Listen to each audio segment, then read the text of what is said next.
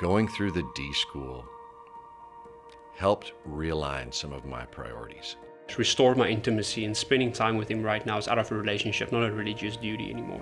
I learned that God, first and foremost, is for us. He actually wants to speak to us. It's freed me from a lot of striving and stress and anxiety. Just covered a lot of simple aspects of following Jesus. Hey, how do we worship? How do I abide with Jesus more? How to love that person at work. How to follow him without having everything set up for you. And really, it was just a safe place to ask questions. A community of believers that are really pursuing the deep things of God. You are learning who we are together in Christ and encouraging each other in Christ. I met some of my best friends in the school.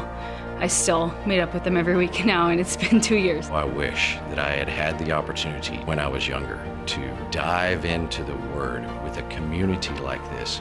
You think that you've kind of cleared the air of, I know who I am, I know who God is, but you just dive even deeper, and it's incredible. I feel like I can share the gospel with um, people in my everyday life. You know who you are, and you know who God is, and you have a lot more confidence in that, and then you can go out and really live it.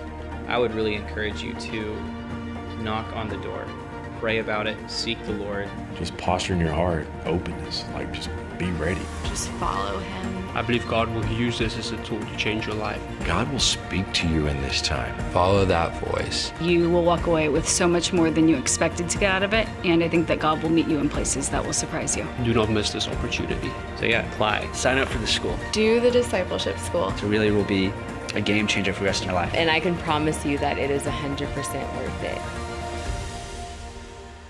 Antioch Discipleship School brings transformation, not just for a moment, but for a lifetime.